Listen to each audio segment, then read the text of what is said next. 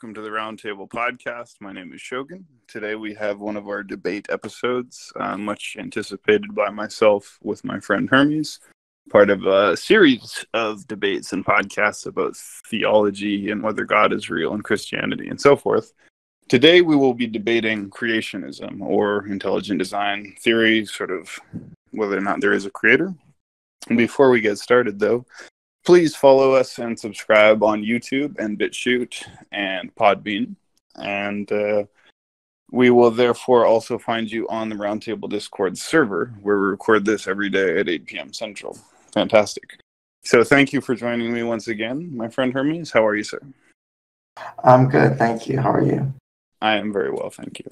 So I'm very much looking forward to this. Uh, you said that you would like for me to go first. Uh, the way we do our, our debates here is there are turns of five minutes each. There will be five turns in this debate. My turn shall go first, and Techno Shaman will be in charge of um, keeping track of the time. When one minute is remaining, he will say one minute remaining. This will allow you to sort of, you know, conclude your remarks, right? So that being said, are you ready, Techno Shaman? Do you have a five minute timer ready to go? Yes, I do. Are you ready, Okay. Shogun? I am, sir. Let me take my little puff here. Are you ready? Sign up. All right, I- I'm gonna get going. Everybody, uh, close your mics. Welcome, uh, everybody. Okay, ready? Techno. Begin Okay. your round.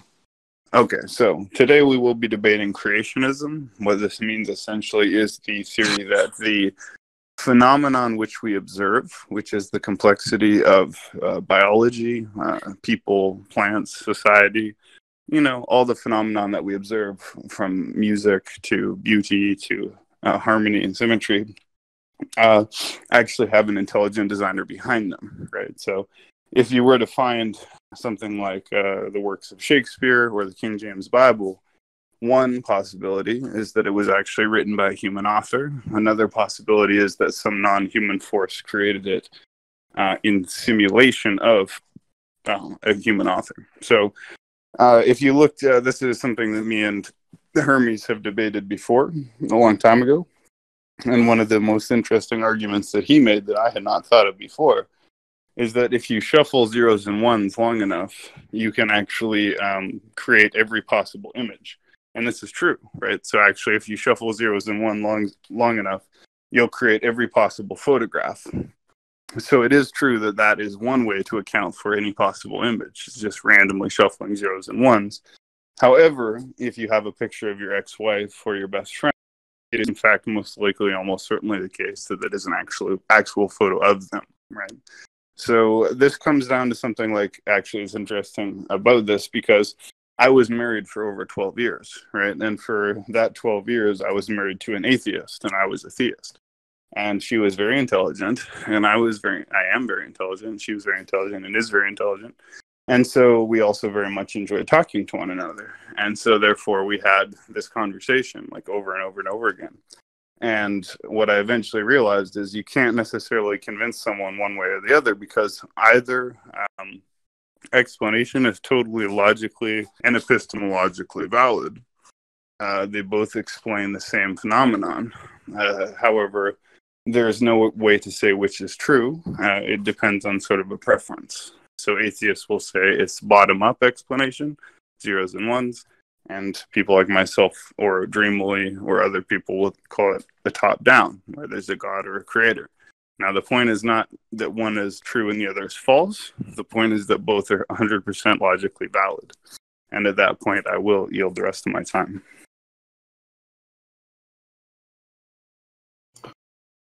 Okay, do I uh, start or wait for? Are you ready to go, Techno? Do you are you keeping track of the five minute rounds? Yes, I am. Um, Okay. are you ready to go, Hermes? Yes, yes, I am. Okay, begin now. All right, so uh, let's talk about the the whole concept of intelligent design. As you pointed out, it is you know the phenomenon of complexity that we observe, and we're trying to explain it.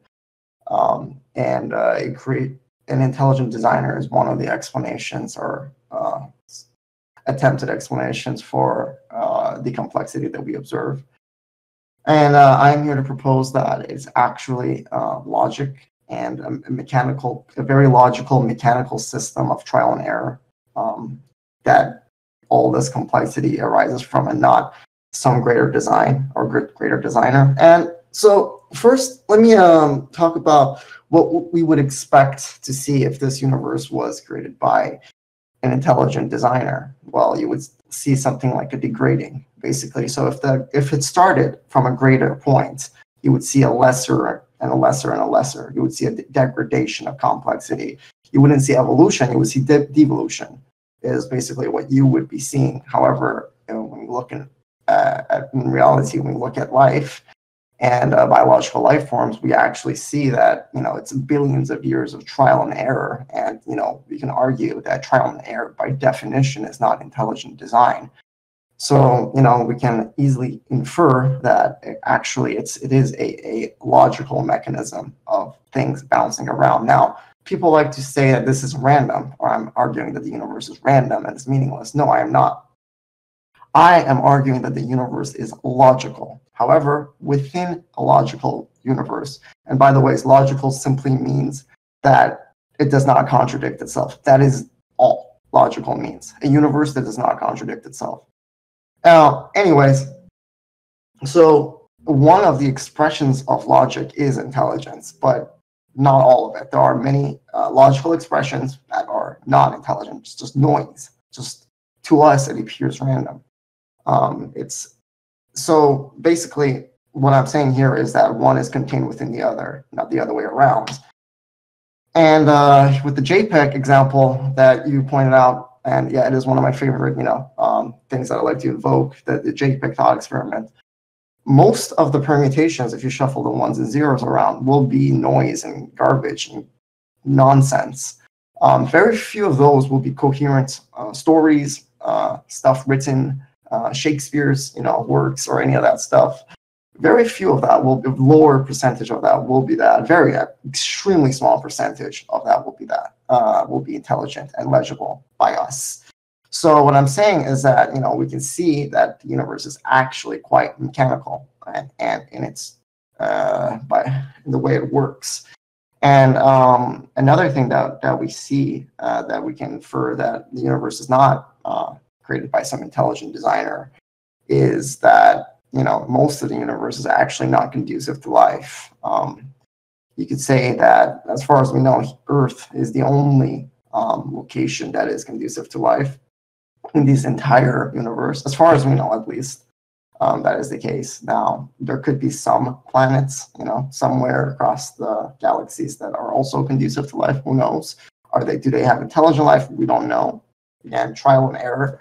And if you want to see how stupid evolution can be, you can look at uh, you know, single cell life forms and how many billions and billions of generate sorry, billions and billions of years and so many generations uh, of evolution and how pretty dumb they really are um, in terms of their ability to continue surviving. So what I'm saying by that uh, is that after a couple billion years, those those uh, single cell life forms and almost One every minute. other life form will be eradicated. Uh, humans are the only permutation of life that has the chance of escaping uh, the inevitable doom of planet Earth. So, um, yeah, it's not very intelligent when basically only one species has a, a chance of escaping imminent doom. Um, and the majority of the universe is void of life. And we see a uh, step-by-step mechanical process of trial and error by which, um, you know, life forms adapt themselves to those circumstances and not perfectly, mind you. Um, so again, not intelligent design. Um, and uh, yeah, I'll, I'll get to the other arguments later. I will uh, yield. Okay, then. Are you ready, Shogun? I am. Thank you. I will begin now. Uh, this is what my second turn. Second turn. Yes. Okay, second turn, beginning now. Okay, so um, I think it's important to remind ourselves what we are actually discussing here. We are discussing creationism. And what does this mean? It is the feasibility or plausibility of the possibility that there is an intelligent designer or a creator um, behind what we see. So what we see is complex systems, right? Very, very, very complex systems, such as human beings, uh, ecosystems, you know, planetary systems, solar systems, um, you know, very, very high order complexities. And then you look at things like, for example, Venus, and the way that Venus describes like a perfect pentagram, right? And this incredibly complex like flower pattern, or all these things about the Fibonacci sequence, etc. So the argument is simply that it is a totally rational and possible to postulate a creator for this because what we're seeing is complex. It is uh, very intricate it is very interesting it is very detailed. And uh, entropy should say that you know things will become less and less complex over time. But if you look at life obviously we have beethoven and and the taj mahal and you know beautiful dancers ballerinas and so forth. So obviously there's a counter entropic force right? There's something that is uh, in the direction of order and beauty and harmony and organization and so forth. And the only point that i am defending is that it is completely logically coherent to say that that is because there is actually a creative force right? Now i certainly don't dispute that there's an alternative explanation which is that you know through some random process these things have come about. But that's not the debate right? The debate is is it possible that there has been a creationist process can you disprove that that is the case? No you can't. Is it possible that that is the case? Yes it is. Is that a way to account for what you see? Yes it is right? So when i look at a tree or a sunset or a beautiful woman especially a beautiful woman or a sunset or a tree uh, I can entirely justifiably say this indicates a creator because it is so beautiful and so fantastic and so unlikely that this would be an accident. And then you could say, well, don't you see, this could just be an accident. Well, of course it could be, but it could also not be an accident. So, in other words, both uh, positions, top down or bottom up, intelligent design or random chance, have the same explanatory power. They both account for the same phenomenon both of them are logically possible. Uh, they're both non falsifiable. So, you know, my position isn't even that your position is false. My position is that you cannot pretend that your position is more epistemologically valid than mine, because in fact it isn't, right? My creationist position is absolutely just as epistemologically valid as your atheistic position. And on that point, I will uh, yield my time. Okay. Are you ready to go, Hermes? Uh, yeah, I, I'm ready. Um, so here I'm going. Okay. All right. begin. So thanks. Um, you're right. I'm I'm here to talk about you know if, if it's even possible or not. Uh, the initial um, speech or whatever I gave um, was just to say that when we look at observations, we can infer that it is in fact mechanical the process because we see it. It takes billions of years. Um, if it was intelligent, why would it need billions of years of trial and error? Um, that's that's the thing. But geometry, for example, as you pointed out, like the Venus uh, and the pentagram, is one of my. I'm very fascinated by that. And there's actually a couple other really cool stuff with that, which is the. It's actually an eight-year, 13-year cycle connection um, and 8 and 13 are subsequent numbers in the Fibonacci sequence, and the Fibonacci sequence uh, approaching to infinity when you get the ratio is the golden ratio, and the pentagram is the, literally the shape of the golden ratio if you get the sign of it. I, I get it. It's, it's really fantastic. But geometry is logical, is what I'm saying. Um, sacred geometry, all these things, these are not some crazy intelligent, it's not a mechanical system that these things come about. Uh, for example, if you want to create what do you call it? Any uh, polygon, just basic simple rules, you know. Um, distance to the center is the same, you know, all sides have the same, you know, length, blah, blah, blah, blah, blah, blah. You get all polygons. There we go. Boom. It's just in all the sacred geometries right there in front of you. Um, and from that, you can create derivatives and blah, blah, blah.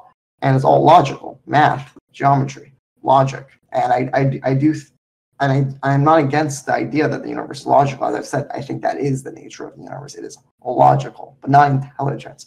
But let's go to the area of me trying to um, make an argument as to why creation is actually not even possible.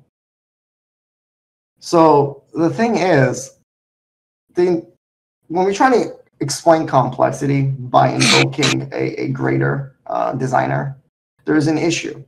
Because, for one, we're trying to invoke the greatest designer, um, which is, you know, it's fine. You can invoke the greatest designer, you know, the supreme being or whatever. But if your initial understanding is that for complexity, you need to have something greater, then you reach a critical error when you reach the greatest um, because you can't have a greater and greatest. And therefore, that's a logical contradiction because if greatness or complexity is derived from greater complexity, then the greatest complexity and the greatest uh, intelligence will be missing the previous uh, point because by, by definition, it won't have that. And that's a contradiction. You can't be greatest and still have a greater. Um, so that's that's a that's a logical contradiction actually with the uh, when you entertain the idea that there was a creator uh, to explain complexity. So let me uh, let me see if I can explain that even uh, in a more uh, more coherent way. So if the wonder, this is what I wrote down, so I'm just gonna, if the wonder and complexity of the universe is so much that only a designer is the answer for that complexity and wonder, then that which designs is designs it is even more complex and wonderful and thus would invoke a greater designer. If you reach the greatest designer, then you cannot invoke a greater designer and thus you cannot justify the greatness. Um, and thus, yeah, this is the problem. You're you're you're you don't have you, just again remember what I was saying back. Uh, you're differing. You're just deferring, deferring, deferring. But now I went one step further and I was like, if you entertain this to the end, if you approach infinity, uh, you reach a critical logical error, which is great, greatest needs greater. One minute. That's not possible. Um, so that's that's one of my that's like base, that was like my main critical argument against um, creation. Creator needs a creator, you know, uh, its own creator. Uh, yeah, that's it. I yield. Okay. Shogun, are you ready to go? Yeah, what round are we on, sir? You're on your third round. Okay, of five. I will Yes. begin now. So, uh, this will be redundant and repetitive, but it is important. So, there is a phenomenon that needs to be accounted for, and that is what we call existence. You exist, that exists, and we both know that that existence is complex. And so, we need a way to account for this complex existence that you and I both experience. When you wake up and you put butter on toast and you eat that toast, you are engaging in an insanely complex process.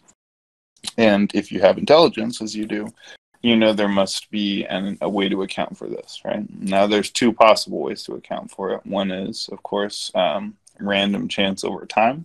So, you know, just shuffle zeros and ones forever over time. The other is an intelligent process. So, in order to quote unquote win this debate that we're having, I don't have to prove to you that the explanation for complexity is intelligent design. I simply have to show you that you cannot possibly disprove that, and that my theory of intelligent design is no less logical than yours of um, non intelligent design. And essentially, uh, that's really all it comes down to. So the point is either a top down or a bottom up explanation is valid. Neither of them can be falsified. And so the fact that you think one is more logical than the other in this case is no more or less than a preference. It's just like being gay or straight or liking chocolate or vanilla. It's seeing, you know, even red or green uh, this way or that way. But if, so in other words, okay, there are, uh, what do they call them? Universal constants weak and strong nuclear force, magnetic force, gravitic force, etc. So they're like these basic elemental forces of gravity and so forth, nuclear, etc. Now, those have to be at a very precise, very, very precise level. Uh, one possibility is that this happened randomly through the spinning of dials until they clicked in this particular formation. The other is that a, an intelligent hand set it to those particular coordinates. Now, I think it is more likely and more logical to think that if these uh, coordinates are so precisely achieved, that there was an intelligent force behind that, but I don't deny that it's possible that that isn't the case, right? But I don't need to prove that it isn't the case. I only need to prove that it is possible that it is the case, if you see what I'm saying. So I don't think you can provide an argument which will say that it isn't possible that one explanation for the create the the creation that we see is intelligent design. There's no possible way you can disprove that. And at the same time, me saying that an intelligent force created things has perfectly valid explanatory power, and you can't say it doesn't. So, on that grounds alone, I, I would just say I win because I don't deny you your argument, but you can't deny me mine. So, in that point, I'll yield my time. Okay. Are you ready, Hermes? Yes, yes, I am. Begin. Okay. Thank you. All right. Um, there was a few things I forgot to um, address um, last time. Uh, one was entropy. Entropy is a highly misunderstood concept, by the way, in, in physics. It's not that things can't lower entropy, it's that the total entropy of the universe is increasing. But there are many processes in uh, the universe that entropy actually decreases in, in, a, in a system. But the totality of entropy is increasing. And what entropy really means, and I want to give like a really good understanding of it, is more of pol- a polarity is a is a. I, I know not many people have used this um, to explain it, but polarity really is a is a really good way of understanding it. So when it comes to thermodynamics or anything really, when you want to extract work, you want to have polar opposites, and as those pol- polar opposites get closer to each other, you can extract work from that. Um, as things balance out, you know, when differences balance out, that allows you to extract work from. So here, let me give an example. You could have an engine that's super like powerful and best fuels and whatever, but if its surrounding temperature is super, super hot, you're not going to be able to extract any work because there's no difference in temperature. You know, all that heat, all that burning, nothing is going to means nothing. So you need difference. And over time, through interaction, through you know particles sharing and exchanging information with each other, they're becoming more and more balanced. And as they become more and more balanced, less and less work can be done, and entropy is decreasing as a whole. However, um, I don't want to uh, pivot too much or go into a different direction. Um, but I didn't have a podcast on my understanding of reality, and I said continuity is, is my understanding of existence, kind of. So it would imply that entropy at some point would have to um, reset or go back somehow. Um, and that's something actually I'm really, really interested in, in working and proving. Um, like, can a, can a system go back to the initial state after, you know, given enough steps? And I think maybe, I don't know, uh, that would be interesting. You know, return to, to low entropy. Uh, but that's that. Um, but yeah, again, as I said, you can have lots of events in reality of cooling down, planets freezing. That's lowering entropy. Um, crystals lowering entropy. All of that. It's you know, it's just what it is.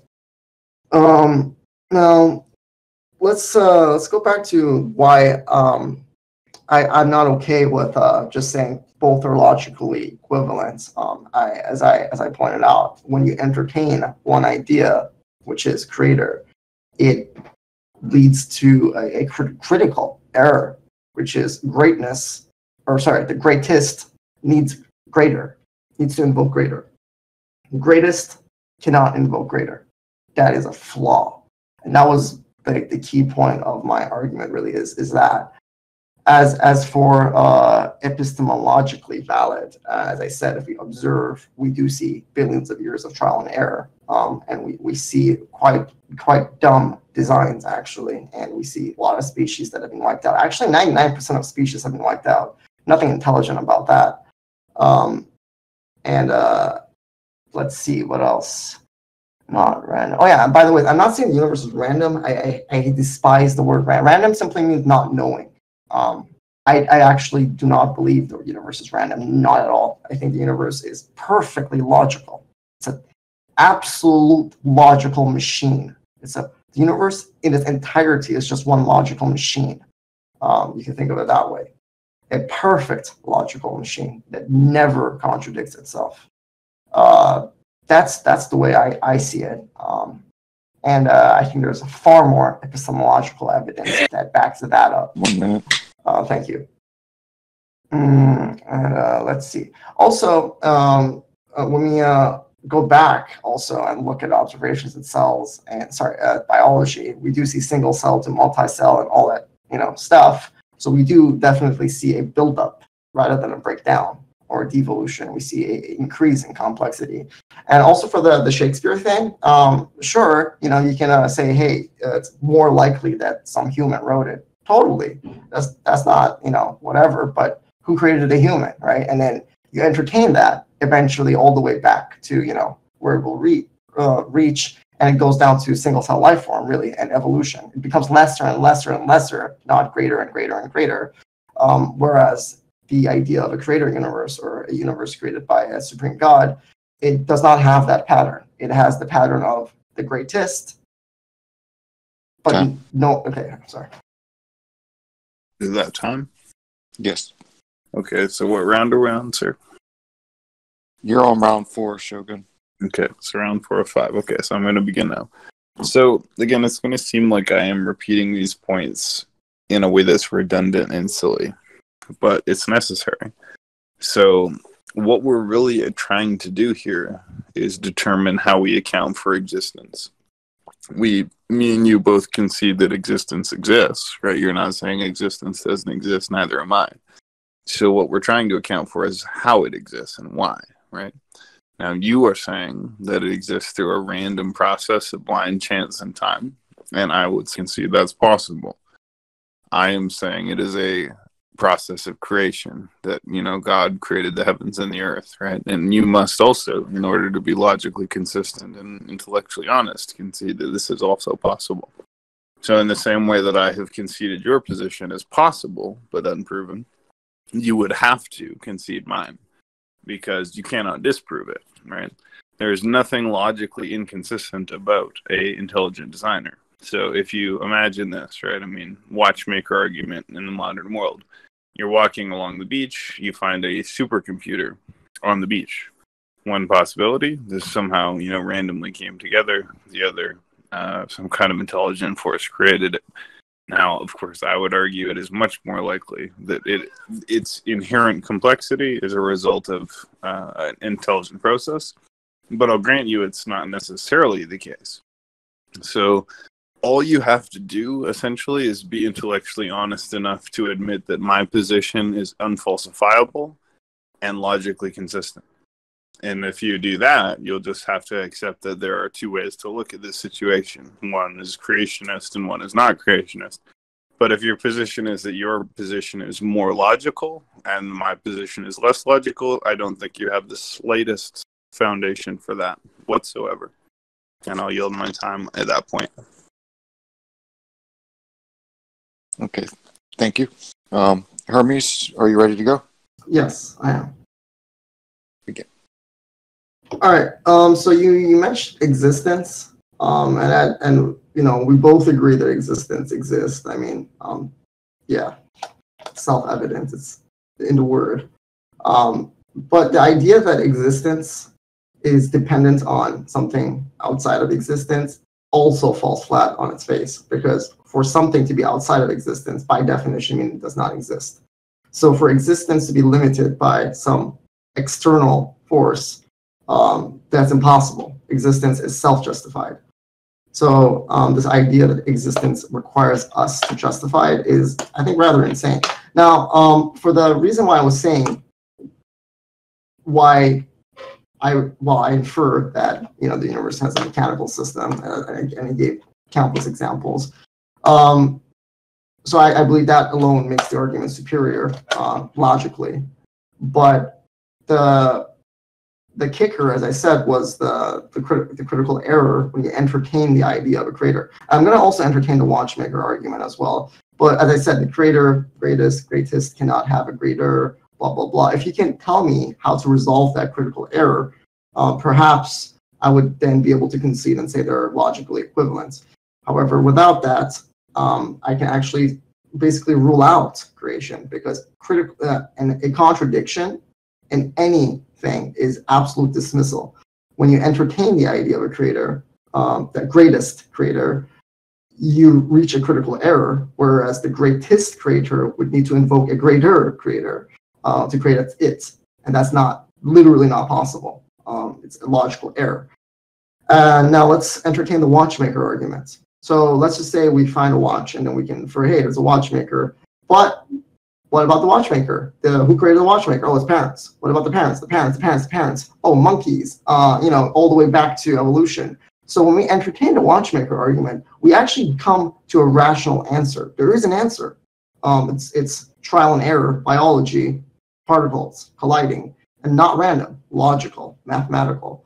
Um, I, I, despise the word random, uh, and that's not what I stand for at all. I absolutely believe in an orderly universe. And just like Einstein said, I don't believe that God plays dice at all. Um, I, I think that's kind of stupid way of putting it because you know God, why would you invoke that? But the idea that the universe is is random is, is insane because obviously we see a structured order, orderly pattern to it. In fact, the universe is the most orderly thing ever. Um, there's it's, it is the the only thing by which has no contradiction. Um, so there's that. And uh, yeah, basically, as I said, if you cannot explain, um, you know, evolution and why that is less like so, the mechanical arguments that I pro- provide is backed by trial and error and billions of years of evolution. We have evidence of it. We have fossils of it. It's there. Therefore, I can say I can infer that the creationist argument is far weaker epistemologically. Um, just based on that. Um, but then there was two um, there was one critical error which I already pointed out. So if you can address those things, then I would gladly um, concede and say that they are equivalent. Uh, and uh, yeah, I concede. I'm sorry, I'm done. I've yielded my time. All right, thank you. Shogun, are you ready? Yes, I am. So, thank you so uh Hermie is my friend, right? So if uh, I was to express what I think your position is, right? You would believe it is invalid or untrue or you know ridiculous to say that everything that exists exists because it was created by an intelligent force. However, in reality, this is a completely logically coherent position and your uh, belief that it isn't is actually a sort of prejudicial bias uh, that has no epistemological or ontological validity whatsoever. So you just think it is invalid to postulate a creator, but it isn't, and you have no way to say that it is, because there is nothing logically inconsistent or incoherent about um, a system where a creator made things the way that they are. So if you have these uh, nuclear forces and you know basic uh, prime forces, uh, you just say, okay, this intelligent being set them the way that they are, like a scientist making a simulation, and therefore we have this wonderful simulation that we have with trees and people and beautiful girls and sunsets, etc. Right? Totally coherent. It's just totally logical. And this idea that it seems that you have that the system not logical is totally invalid. So I'm not claiming that I can prove that a creator is a better explanation. I'm claiming that you cannot say it's not a valid explanation, and you also cannot prove that your explanation is better either. So uh, there's nothing more valid in other regards. Now, let's do a little thought experiment. In the beginning, there was nothing. God existed. God created the universe. Okay? Now, this little thought experiment is completely logically coherent. There's no problems with it, there's no logical inconsistency with it whatsoever. It just says an omnipotent being created everything. Boom. You will have some kind of idea that this is invalid, but it just isn't. You can't make a logical claim that this is invalid. So, in other words, if you have the story of Game of Thrones, it's possible that George R. R. Martin wrote it. If you have the story of Dune, it's possible that um, Frank Herbert wrote it. And if you have the story of uh, Lord of the Rings, it's possible that Tolkien wrote it. Now, you could also say that some random number generating machine wrote it, sure, but that's stupid. That's not what happened. it's just simply dumb and and wrong. And I'll yield my time on that. Okay, thank you, Shogun. Are you ready, Hermes? Is this last round? Yes. All right, sure, I'm ready. It's going to be a quick one, by the way, because I don't really think there's much more I can flesh out here. But I'm going to address the last argument, which was the you said at the beginning, um, God existed and God created the universe. So when you say at the beginning, you're already implying that time and space exist. Um, time, beginning, exist. So existence is already there. Time already exists. Interestingly, um, then we're, you're saying God existed, but then existence is is is the is rather uh, what's permanence and doesn't need justification. God actually needs existence, not the other way around. God needs to exist to create the existence of the universe. I mean, that's kind of insane when you think about it, because you try to explain existence and then you're, you're saying God exists, so you're kind of shifting the goalpost. Uh, so there's that. But um, I don't know what else to um, point out. I, I think I've, I've given my justifications as to as to why um, creation is again incoherent. You could, you could you could say that I'm wrong. Fine. Um, we can agree to disagree. Totally fine. But I have given my justifications. Um, one was the critical error of greatest cannot invoke in greater, and the second one was we observe a mechanical process by which things come about. Um, and also we observe a lot of error in the universe, which, you know, again, points out against uh, intelligent design. We see a, a massive void uh, in the most of the universe when it comes to it being conducive towards life. Uh, what else? What else? Um, uh, I've already given an alternative explanation, and it, again, doesn't have to be random, but I've given an alternative explanation by which it can, uh, all permutations c- can come about mechanically. And again, if we look at the universe, we see a mechanical pattern of logic uh, always holding true. Certain patterns always hold true. And that was that's what gives structure to the universe. If the universe was not logical, there would be no structure, there would be no physics, there would be no geometry, there would be nothing um, there would be no physics.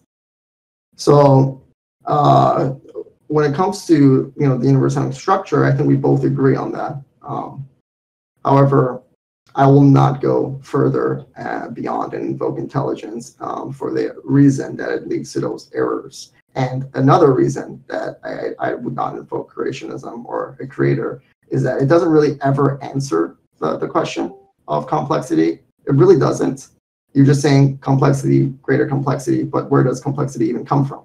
Or where does existence even come from? It doesn't, it doesn't answer the core issue. Of course, I have already pointed out that existence, legit, by definition, cannot be limited by anything, um, because it like literally, it for it to be outside of existence, it won't exist. Therefore, it can't affect existence. I mean, it's really the most absolute thing in this universe that I can think of is existence. And uh, I, I, know I'm going on a tangent, but it doesn't matter. I have a few extra minutes. I'm, I'm gonna I'm gonna use it for a little mini story. Um, when I did DMT, and the biggest one that I ever did, um, the one that almost lasted two hours with heavy hormonal dose, and I don't even know how much fucking milligrams I took. But um, I remember I was repeating one phrase over and over again, like I had discovered the universe or something. I was saying it over and over again with passion. And it was, I am, I am, I am, I am. I was saying it over and over again, but like with, with energy, I was saying it. I don't know why, but now that I, you know, go back and reflect on on existence, um, I, I understand why existence is is supreme. Um, it literally is the absolute. Nothing goes above existence. Um, so that's where I stand. And uh, I think we're going to have to agree to disagree, but I'm very glad that uh, I got to flesh out my arguments. And at the end of the day, um, this has helped a lot with me writing uh, what I wanted to write about. So thank you for that. I yield. Thank Fantastic. You. And uh, I don't know if that was um, the end of the turns or not, but I'm happy to end it kind of there. Yeah, that, was the end of the turns. Perfect, fantastic. So thank you, uh, Hermes. Uh, that was interesting. Uh, I don't think we'll bother to do the usual like um, poll because there's not that many people here to vote. But uh, again, there's no winners or losers. It's just a conversation. But I think it is a good discussion that we have had, and we will continue uh, in this uh, series of debates uh, on topics related to religion, etc. So thank you, Hermes. Thank you, everybody, for joining us. Welcome back, Belushi. And uh, we will conclude now. Please make sure you follow us on the YouTube and BitChute channels and on Podbean and join the Roundtable Discord server where we record this every day at 8 p.m. Thanks, guys. And let's jump up to uh, the pub, I guess, where um, people are. And we'll, we'll go from there. But this was very good. Thank you.